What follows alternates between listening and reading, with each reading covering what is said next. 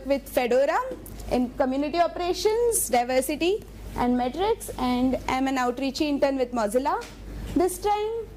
And my work is sort of similar, mostly in community, diversity, and metrics there too.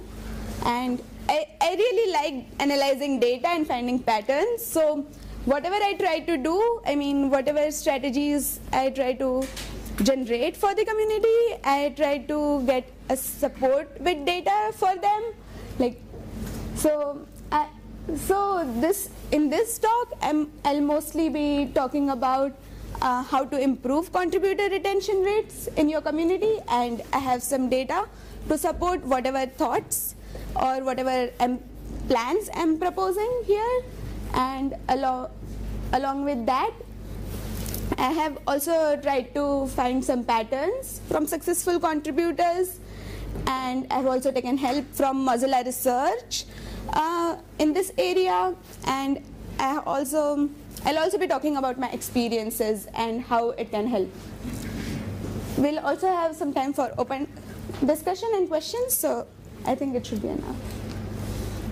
So metrics, yay, I'm very excited about metrics, always. Um, so these are some graphs from the Fedora community. Um, so in Fedora, we have a FAS account system for contributors. So if you want to contribute to Fedora, everyone has to sign up for a FAS account and then you can go on to contributing in whichever area you like, whether you want to file a bug or, I don't know, uh, port some packages or contribute code or translate um, documentation, anything. So this shows the number of new users who signed up for FAS account in that year. And in this, uh, can, can you see this? Yeah. So in this graph, I have tried to uh, contribute, uh, I have tried to um, analyze the users according to their contribution activity.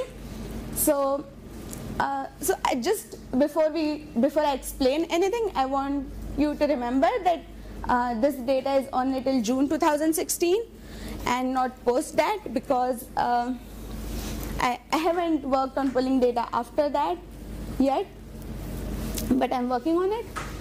And yeah, so uh, so as you can see, so there is a sharp, there is quite a rise in the number of Fedora accounts, but here if you can see, the orange uh, represents short-term contributors.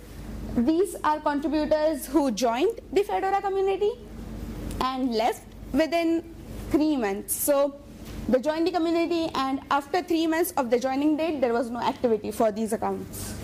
The blue ones are the long-term ones which also had an activity after three months and even after one year. So they continued.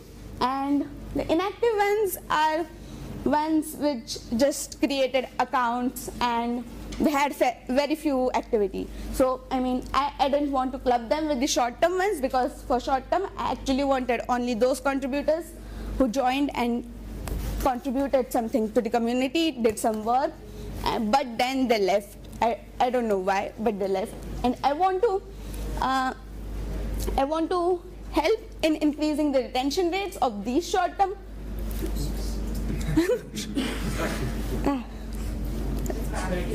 Oh, okay.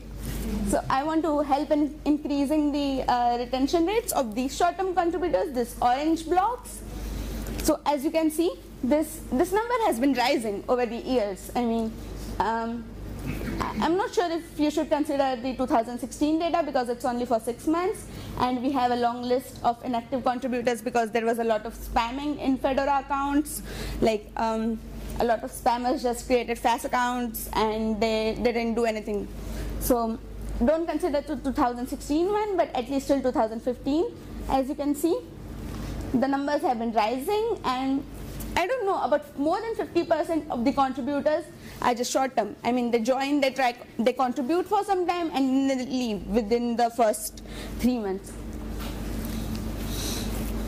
So we have had 5,000 new FAS accounts, but only like 20% of these remain active.